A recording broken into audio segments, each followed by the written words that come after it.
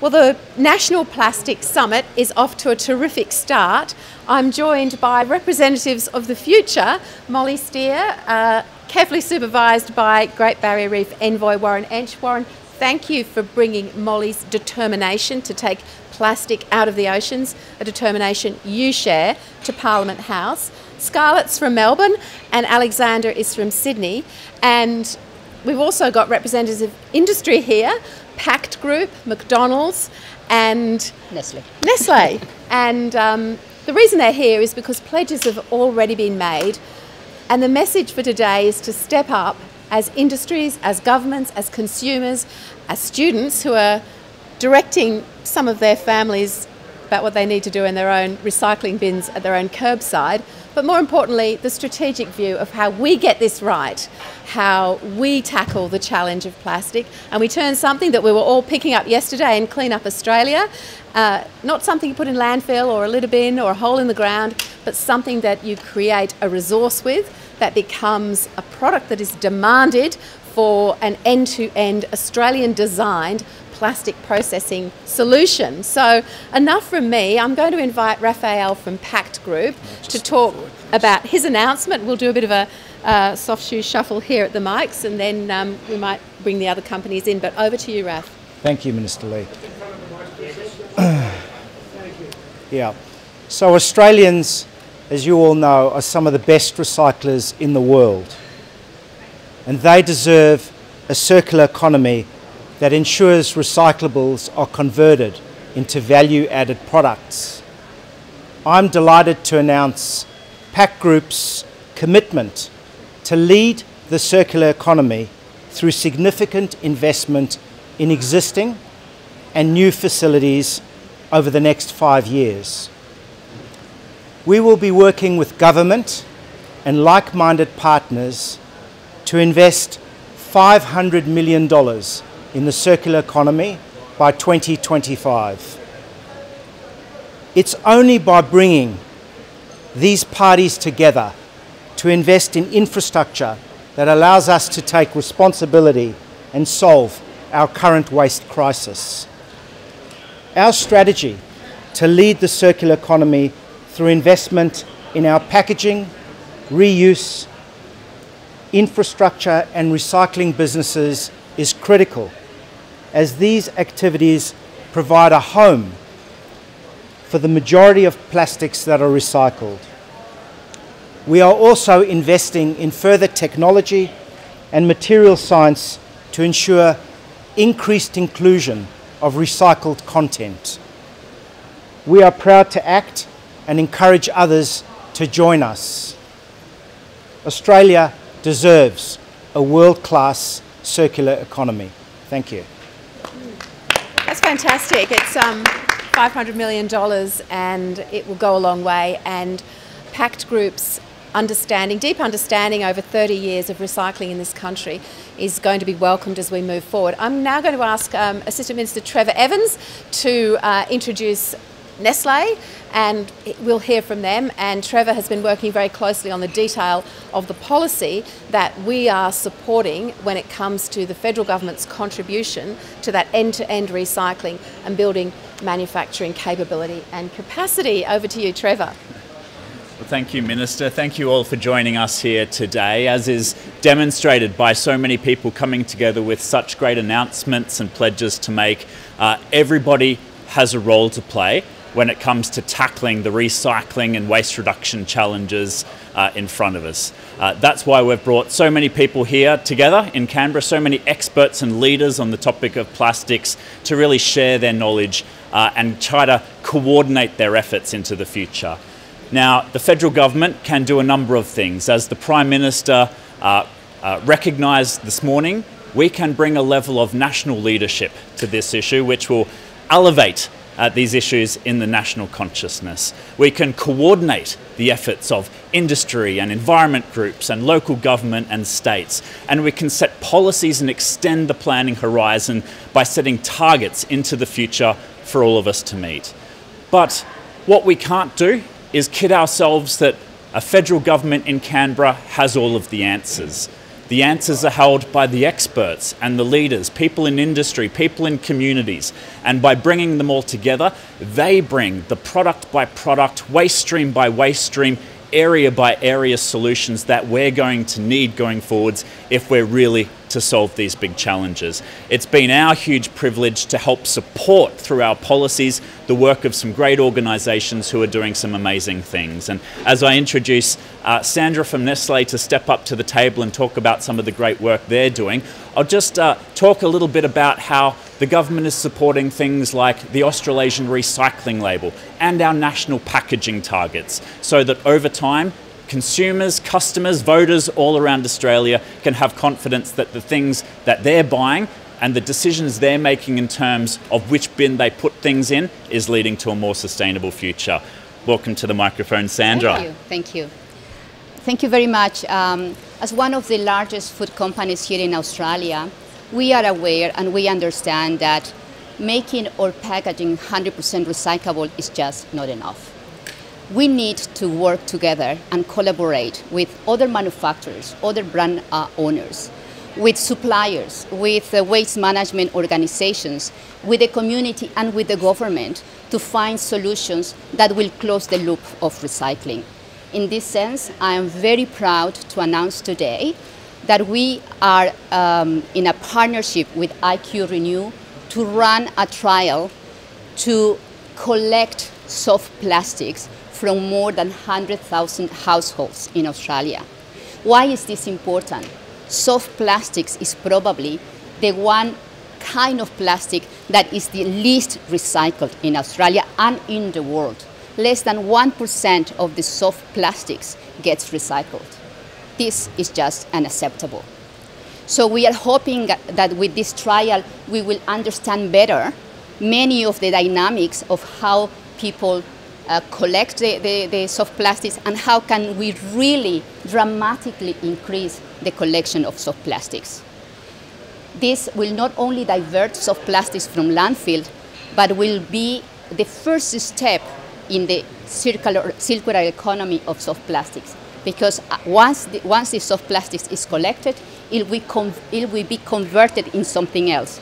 And hopefully, again, in a, a recycled food grade soft plastic that we can use again to manufacture our products. Thank you. Thanks.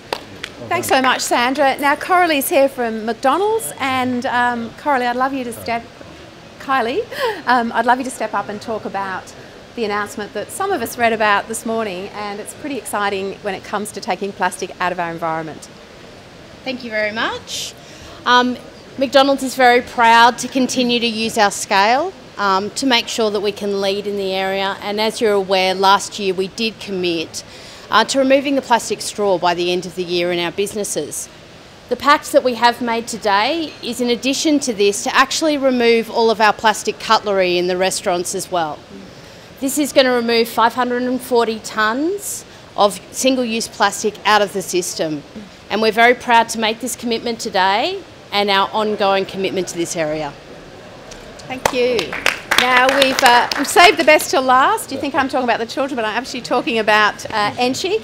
Um, Warren, would you like to introduce uh, Molly, Scarlett, and Alexander? And thank you. We'd love you all to speak. Thank you very much indeed, Minister. And we've heard we've heard today about government, their commitment, and what their role in dealing with this particular challenge. We've heard about uh, from our chief scientist what science can do in helping us to resolve this issue and to deal with this issue. And of course, we've had some fabulous announcements here from industry. All of these three are absolutely critical when we're dealing with this challenge.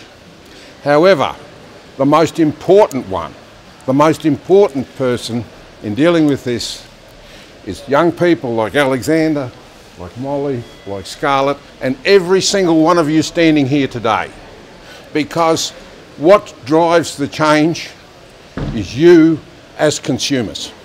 What you choose to buy and what you choose to reject.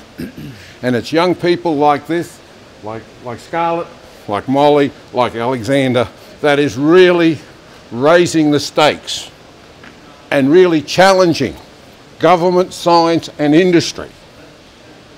And it's what they choose to buy and what they influence other people to buy and to reject is really what's going to end up as being the absolute success of where we're headed in this particular one. So I say thank you to three of you young people representing a whole myriad of young people right around across the country.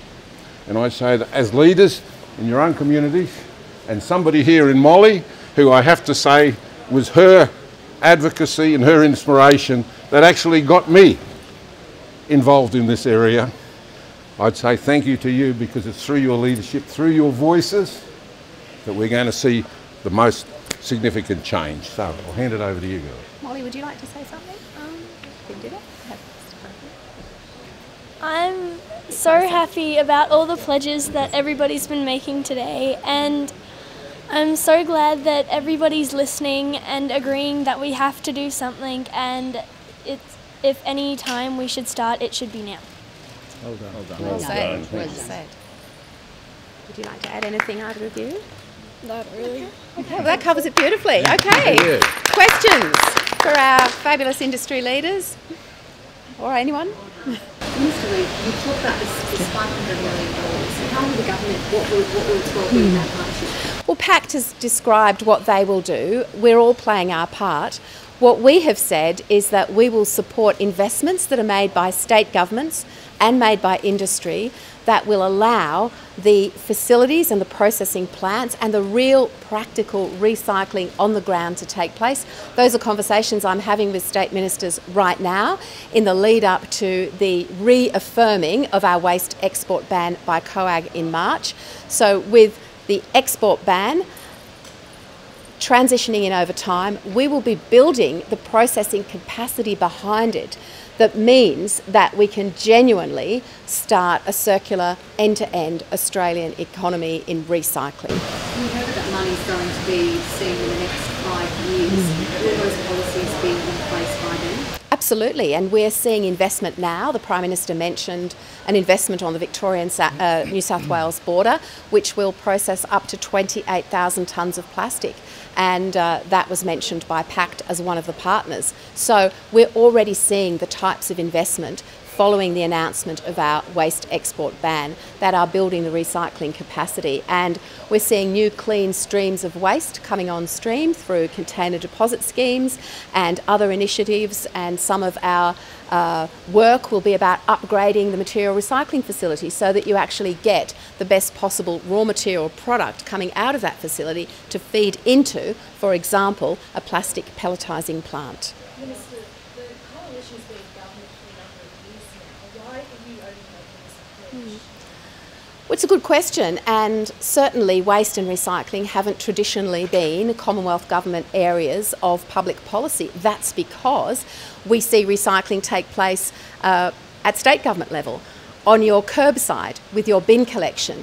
And then waste levies are collected by state governments, and we'd like to get a few more of those levies back out of the state government treasuries and on the ground in practical recycling facilities, and that's starting to happen. So um, uh, it, it, it has taken, I believe, national leadership to bring environment ministers together, to bring state governments together, to support the Prime Minister's waste export ban, to agree to the timelines that it's phased in under, but then for all of us to collaborate, work together, make the investment, make the connections, have industry step up, and I thank them for that because this is not something that governments do. This is something that governments partner with industry. It is industry that invests, has skin in the game, understands the marketplace, and um, and is leading in front of their consumers, their shareholders, and their clients, who are also demanding this because the point Warren Entsch made is a really good one. It is that it's consumers who choose, consumers who agree that it's okay to have a ban on single use plastic bags in their supermarket, that they don't want to use helium balloons at children's birthday parties, that small pieces of plastic are ingested by marine wildlife and cause problems. We've all heard of there being more plastic than fish in the ocean by 2050, but you may not know that by that date, it's expected that 99% of seabirds will have ingested plastic. Now, these are these are facts that our students um, and all of us should take take very seriously to heart, and that's part of the action that we're undertaking. You talk about the job especially in regional Australia. How far away do you see that? Well, again, the announcement this morning is a uh, recycling plastic pelletising plant that is near my hometown of Albury, and it will employ 30 people when it's up and running, and a lot more during its construction. It will take plastic from all over the east coast uh, in theory, and it will be balanced by other similar facilities. Now, they're rural and regional jobs. Over nine jobs for every 10,000 tonnes of plastic recycled is a real generator of economic activity for rural and regional Australia, one that we, re- we really value. But similarly, we've got uh, Stephen Dawson, West Australian Environment Minister, here at the summit today, and he's talked to me about solutions for remote communities, mobile solutions that provide, for example, jobs in Indigenous communities, and again, treat the plastic that we're seeing in our environment as a resource to be used and a value to add. Environmental groups are calling for a 100% recycling mandate on plastic packaging. Is that government We're not doing this by ad hoc legislation or regulation that may well add costs to consumers. We're very conscious of consumer costs and people who live on fixed incomes who aren't automatically going to be able to pay for levies that are loaded on somewhere in the supply chain for waste and plastic. But in spite of that, I don't believe such a solution would work. When we look at packaging and plastic, so much of it comes from overseas. It comes from online shopping. We don't have the ability to inspect everything at the border and say, well, you know, your uh, electrical equipment has got too much polystyrene wrapped around it or too much plastic wrapping plastic. None of us likes it. We, we want consumers to say we choose not to purchase with this much packaging, but also what the uh, packaging covenant is. It's industry saying uh, we'll work together and we'll agree not to use this much plastic packaging. Polystyrene is one of the nastiest products in the environment. It's being replaced by wood shavings by something far more fibre based and environmentally friendly. Doesn't need levies to do that. We're bringing everyone with us and it is happening. Today is about industry participating in a collaborative effort about investment for the new recycling economy and the day is just beginning. The sessions are breaking out now and I'm sure by the end of today there'll be some more announcements made. I certainly uh, am conscious as someone who lives in rural and regional Australia about the pressures on land and land care. And before I became really busy in Parliament, I was secretary of my local land care group. I think it's reasonably well known that I um, participate in community cleanups, that, like everyone, I talk about recycling and am part of that educational opportunity. And I support all my wonderful schools because the changing of the conversation is one that happens very much from school level. I don't think anyone can have a conversation with students like the ones that are here today, and we've got 20 amazing individuals like the three you've met this morning, without having a sense of this is the moment, this is important, this is the time when we need to take action across all sectors of society on plastic. But it really is students who are leading the way. So I've invited Portia from the small town of Corowa in my electorate. I went to her school and they have a no rubbish policy. So yeah, sure, you bring things that you need to put in a, a, in a rubbish bin when you come to school, but you take them home in your bag. Now that starts, as the students say to me, to educate parents. There's no bins at school. No, because we want a zero waste school. Because we're in regional and rural Australia, we've got a lot of worm farms, we've got a lot of vegetable gardens, so students are learning about organic waste and composting in the soil. They're learning about how you recycle everything that you grow in the ground, and they're learning very much about where their food comes from. So they all say that the messages that they would like us to hear are messages that when they talk to the adults in their world, they often haven't heard. Thanks, everyone. Thank you. Thank you. Just to escalate um, I guess consumers are sceptical of the company. And um, New